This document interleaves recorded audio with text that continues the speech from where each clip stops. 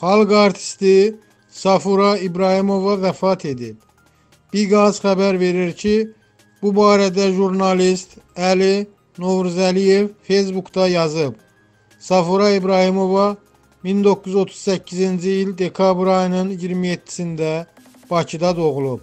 Aktrisa, qaynana, tütək səsi, bizim Cəbiş müəllim istintaq davam edir kimi milli filmlərdə rol alıb.